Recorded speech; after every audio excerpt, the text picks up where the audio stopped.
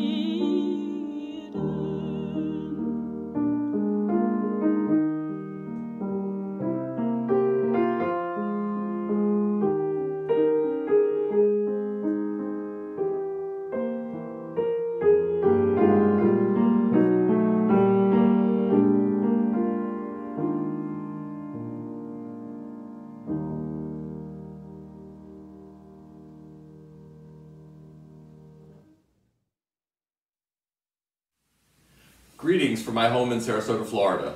My name is Tom Purviance, and I graduated from Westminster Choir College in 1974. After graduate school, I had the pleasure of working as a Westminster Conservatory faculty member, as director of the Office of Concerts and Special Events, and later as director of Alumni and Development. My history with Westminster spans more than 50 years. I am the musician and person that I am today because of my Westminster experience. It has defined my life in almost every way, and the people I call my lifetime friends are all from Westminster. These are difficult times for those of us who feel strongly about the value of a Westminster experience. The only thing standing between Rider University and the end of that experience is the Westminster Foundation in Princeton. If not for their lawsuits, our campus would already be gone.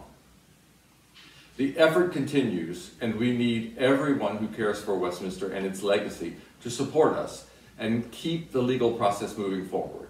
It is long, slow, frustrating, complicated, and expensive, but it is the only possibility to save our Princeton campus. Join me in supporting the Westminster Foundation in Princeton. Thank you. I would like to play for you a transcription of one of Rachmaninoff's most popular songs, Floods of Spring. The piano transcription was made by legendary American pianist Earl Wild, with whom I had the privilege to study some of Rachmaninoff's music shortly before his death in 2010. I hope you enjoy it.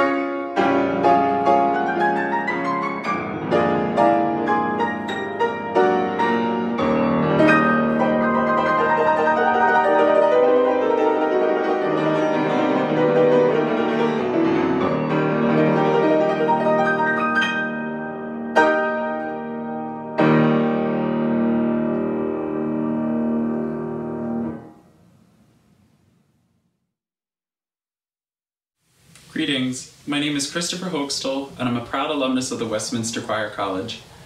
I received my Bachelor of Music in Voice Performance and my Master of Music in Voice Performance and Pedagogy from the Westminster Choir College in 2017. Since graduating, I've gone on to sing as an apprentice artist with various American opera companies, as well as sing as a tenor soloist with various private music organizations, ensembles, and orchestras. I also recently gave my principal debut in Germany, singing the role of Pilot in Stadttheater Gießen's new opera Glaube Liebe Abschied.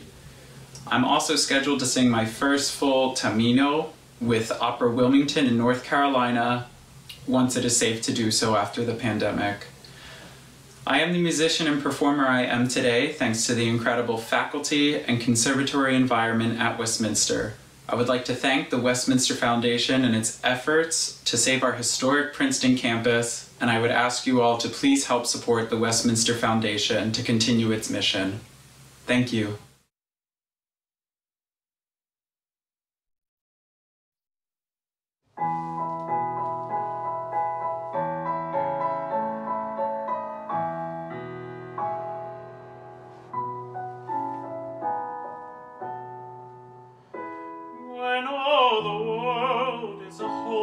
Hopeless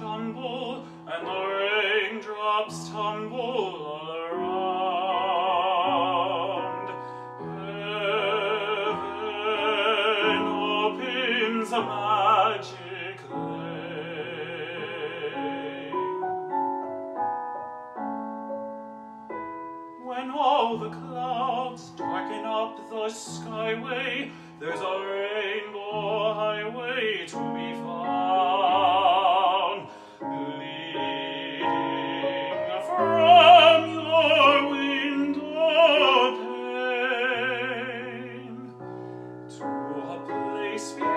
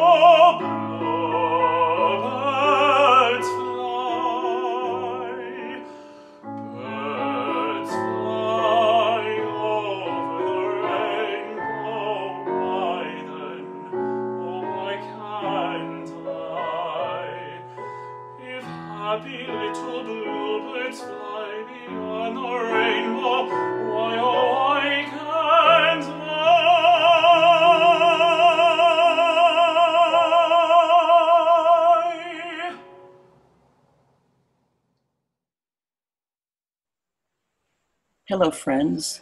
I am Laura Brooks Rice, retired professor emeritus from Westminster Choir College, where I taught from 1985 until 2019.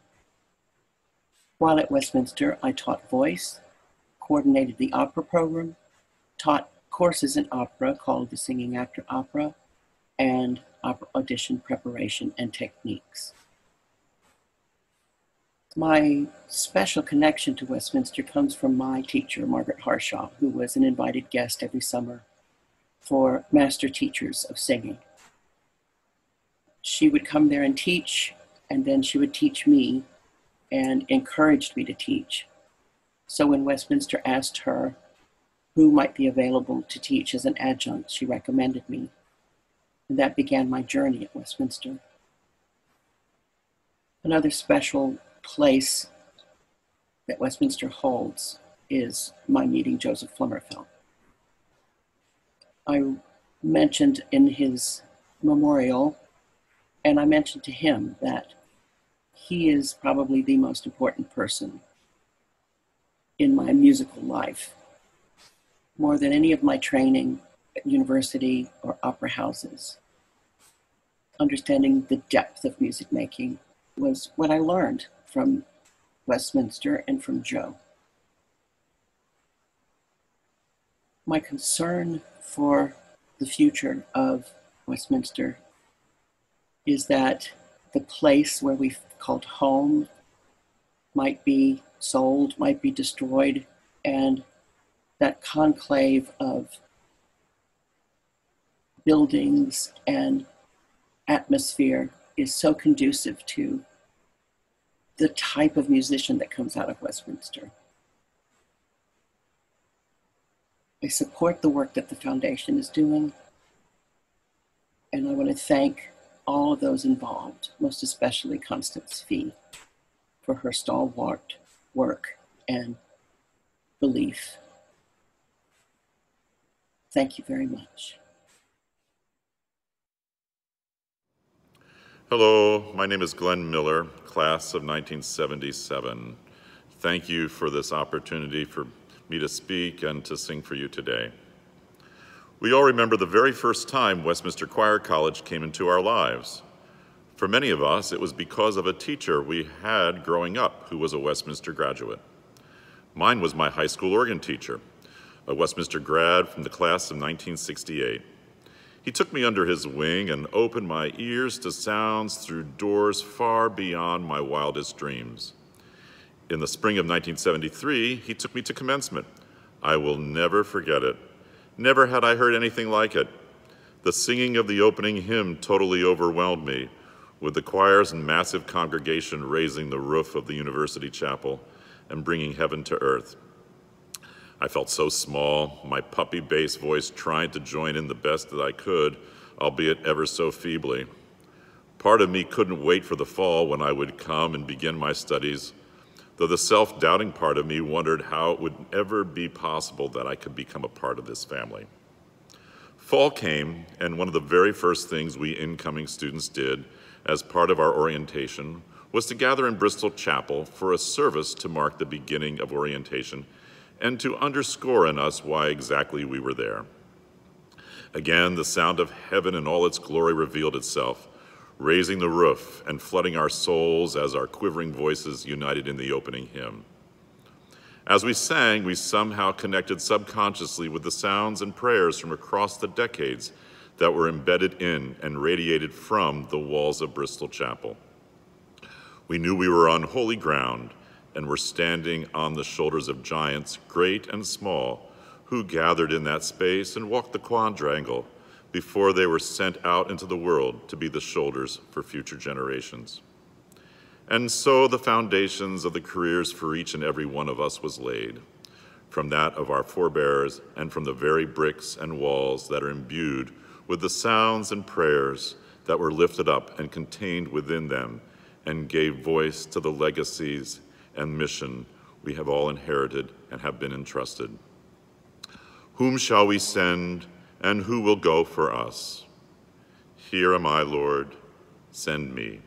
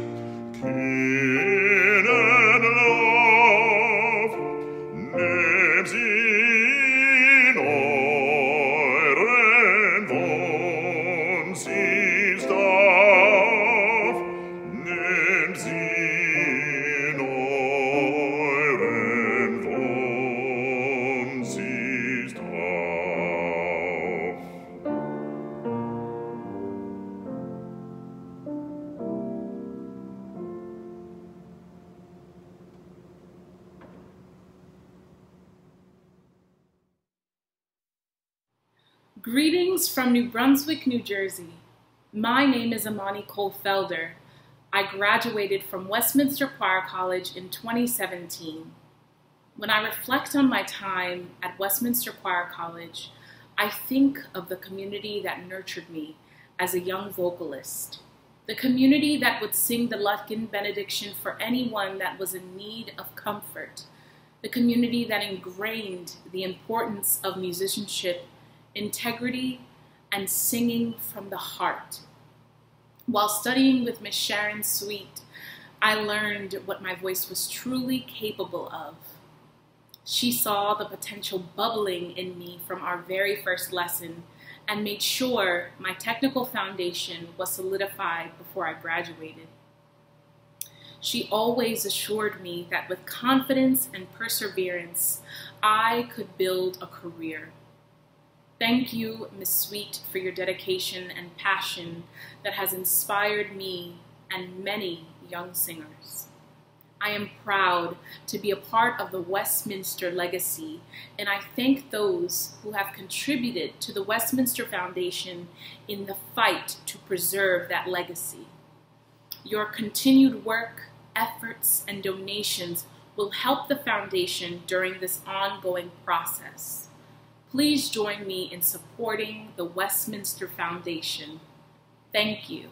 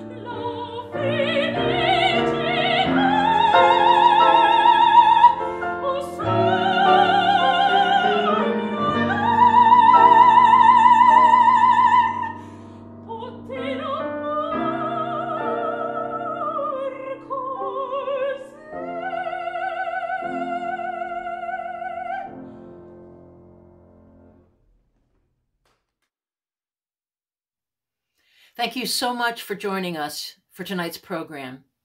I'm Constance Fee. I'm president of the Westminster Foundation and a second generation graduate of Westminster Choir College. Tonight's virtual concert is our way of saying thank you to the many alumni and friends who support the foundation. And we are especially grateful to those who contributed their talents and their heartfelt reflections and made this concert possible. It is our hope that tonight's offerings will highlight the profound impact Westminster alumni have on the world around them and how their musical experiences inspire future generations of alumni to come. On behalf of the trustees of the Westminster Foundation, I want to express our sincere gratitude to you for your generous support of this important effort to save this beloved institution. Thank you. My name is Eric Plutz, and I'm the university organist at Princeton University. I've also just recently resigned from Westminster after serving as the accompanist for the symphonic choir for 15 years. In addition, I am a proud alumnus who graduated Westminster in 1989 with my bachelor's degree in organ performance as a student of Dr. Donald McDonald. It is he who most influenced me as a student, and I call upon his words of wisdom daily. It was a great honor to use my piano study, choral study, organ study, and general musicianship in my position as symphonic choir accompanist to further the mission of Westminster Choir College, namely to assist in some very small way with the nurturing and education of the students. The Westminster Foundation is striving to continue that mission, and as a member, I fully support that effort. I would like to thank from the bottom of my heart all who have supported our cause. That cause is worthy. Westminster is worthy.